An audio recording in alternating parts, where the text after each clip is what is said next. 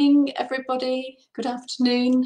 Lovely weather again here in Brighton, and I hope it is equally as lovely where you are um, today, wherever you are in the world. Uh, welcome. Um, I'm so grateful to everybody that has uh, joined um, my group and and is uh, listening to some of the talks that I've been doing over the last couple of weeks on how to empower you to boost your immune system and boost your confidence in um, navigating yourself through this lockdown period and eat as it eases now with all the anxiety and confusion that that can bring with it the changes on a daily basis that we're experiencing um, wherever you are in the world. Everybody's governments are uh, reacting in a different way which can be very confusing and now in England tomorrow, uh, we're being asked to wear masks in public uh, and on public transport.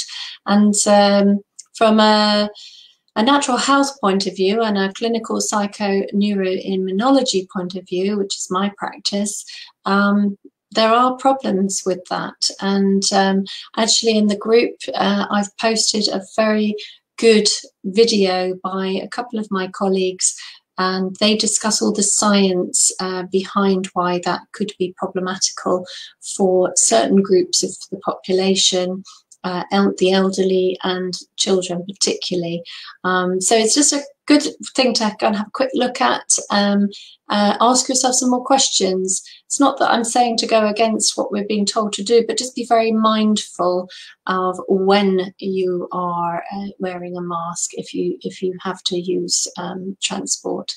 Hello, uh, I can't actually see who everybody is when you join, but do say hello. It's lovely to know that people are listening live, and if you're listening to the replay, uh, a very big welcome to you too. Um, and any questions you have, please do put them in the comments. I will ask, ask answer them after the video. So today, um, I wanted to talk to you about um, the amazingly powerful energy shifting times that we find ourselves in right here, right today. We uh, are in the midst of three eclipses uh, over the course of the month. We've had one, um, and we're going to have another one on the summer solstice and another one at the end of the month. Hello again to whoever that is as well.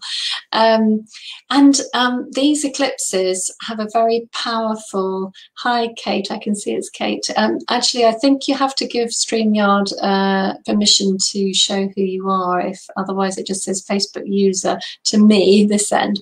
Anyway, um, so back to the energies. It's very, very potent and powerful time for transformation, for uh, for really getting in alignment with who you are, what you want in your life, um, how you envisage your life to be in an ideal world. And today um, we've got some planetary alignments that uh, make this the perfect day for inquiring of yourself. What do I want for me and my life, and how do I envisage my life or my community or the planet? Hi, Shelley.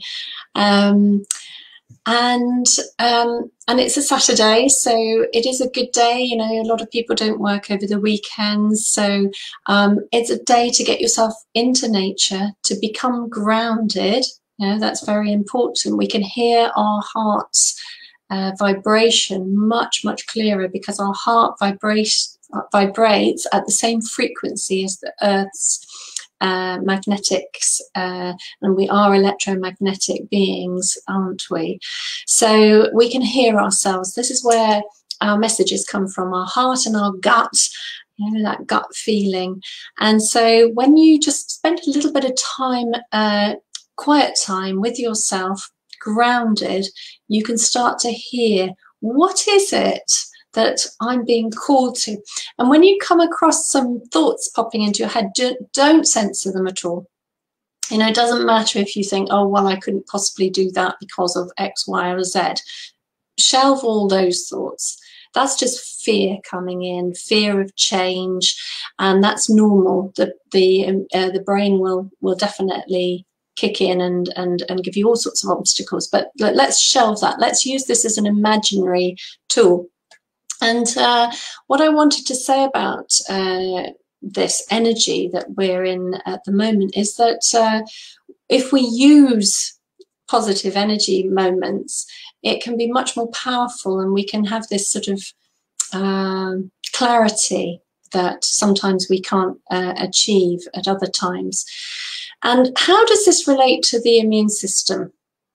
Well, it relates entirely to the immune system because remember with all of this series I've been talking about how any stress will create this cascade of uh, uh, uh, hormones, uh, neurotransmitters, stress response, fight, flight, stress response.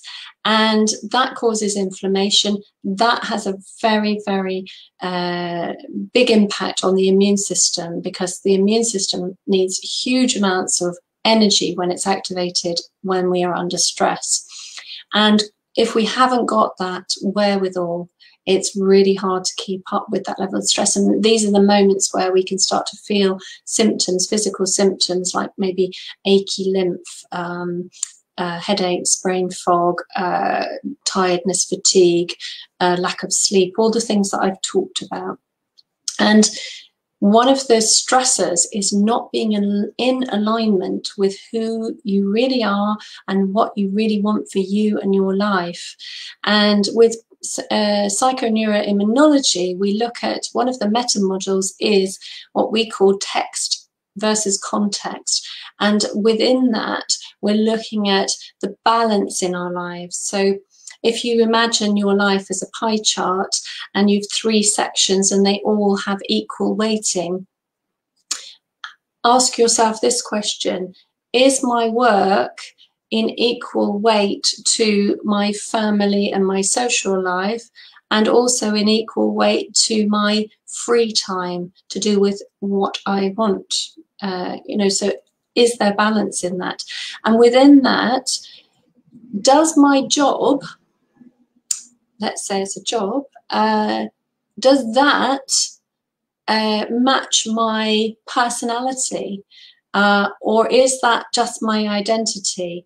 And is my identity taking too much charge over my personality? So, so that can be a stressor as well. So if you're an introvert and you have a job that requires you to be an extrovert, you can imagine how much of a stress that might be, or vice versa.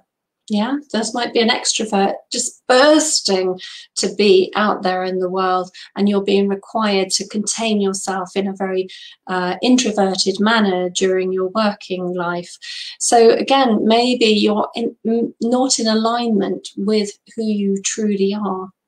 So, what I'd encourage you to do today is just, if you can, allow yourself a little bit of quiet time, as I say, to be grounded. When we're grounded, uh, we are not at uh, we're, not we're not so at prey to other people's influences or uh, or our own negative uh, mind speak. Um, and we can still be in service but not at the cost to ourselves in life. That's really important. So everything needs to be a little bit in balance. And really pick the must-haves. When you get when you start to have these thoughts or maybe you're writing down list pick out the must-haves. I must have this in my life okay? And only tune in to what's actually yours not what other people uh, are imposing upon you or what's theirs so really what uplifts you what delights you and you know it when you feel that that feeling don't you you know, you feel that little bubbling up in your stomach and that smile just spontaneously comes on your face and you can't help but just be like, oh, it's like tingles. And um, yeah, you know when you're lit up. Yeah, your eyes are bright and sparkly. Um, you just have that sense of inner energy that uh, starts to bubble up when when you're on point with with your true self. And um, and we just need to let go of the fears. Let go of the fears so that you can put it into action whatever it is that's coming to you.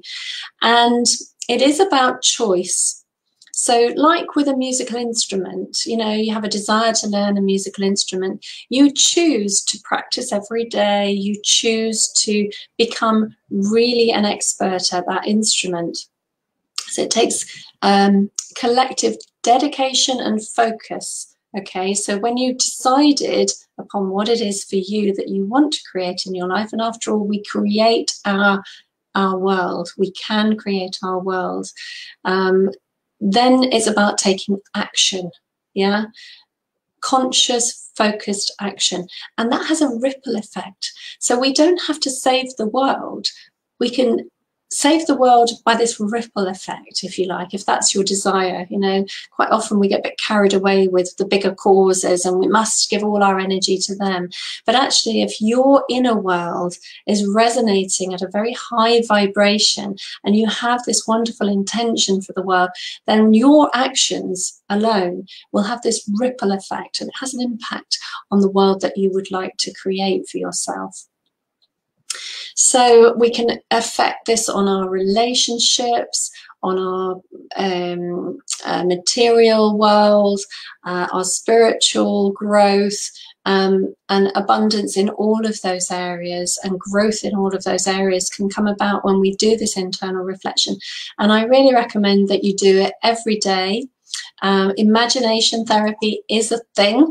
Uh, it's a scientifically uh, proven um, uh, practice that rewires the neurological connections in the brain so that we do manifest what we what we want. I'll just tell you a tiny little story. Um, so you know i moved to where i live uh, 10 11 years ago now and for about four years i was on four or five years i was on the list for an allotment and I used to walk up through my woods and look across the allotment uh, site, beautiful, beautiful site, uh, nature reserve, like uh, like you, you you would just, just love, or I would love. And um, I'd look across and I'd say, oh, I would just would love to have that particular allotment um, out of all the allotments, the 200 allotments here, that would be the one I would truly love. If I could have one at all, I would love it.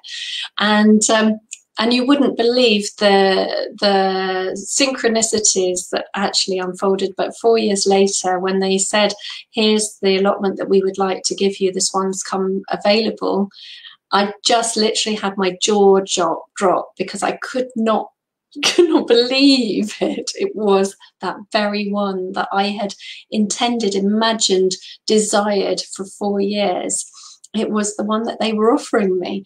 So, um, just a little story just to give you hope that that is actually the case for us all. We can all manifest what we want, but it's about getting very clear within you.